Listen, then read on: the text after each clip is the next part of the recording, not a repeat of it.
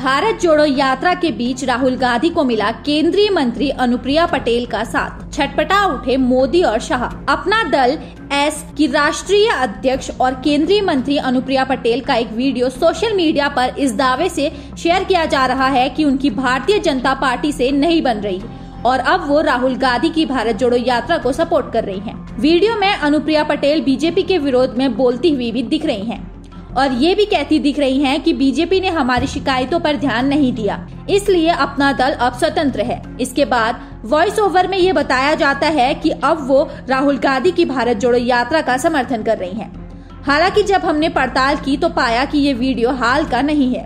Video 2019 का है तब अनुप्रिया पटेल की बीजेपी से अनबन हुई थी और उन्होंने बीजेपी के खिलाफ बोला था। हालाँकि बाद में अपना दल ने बीजेपी के साथ मिलकर चुनाव लड़ा।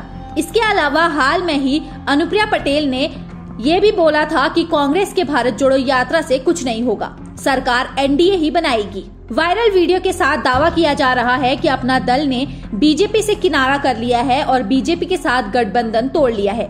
इसके अलावा ये भी लिखा गया है कि केंद्रीय मंत्री अनुप्रिया पटेल ने राहुल गांधी की भारत जोड़ो यात्रा का समर्थन भी किया था। वीडियो को कई सोशल मीडिया यूज़र्स ने शेयर किया है। इनमें से कुछ के आकाइव आप यहाँ और देख सकते हैं। इस वीडियो को नेशन टीवी नाम के एक यूट्यूब हैंडल पर इसी दावे से 13 सितंबर को अपलोड किया गया था। फ़िलहाल आप इस खबर के बारे में क्या सोचते और समझते हैं, हमें कमेंट करके ज़रूर बताइए। न्यूज़ डेस्क से प्रिया।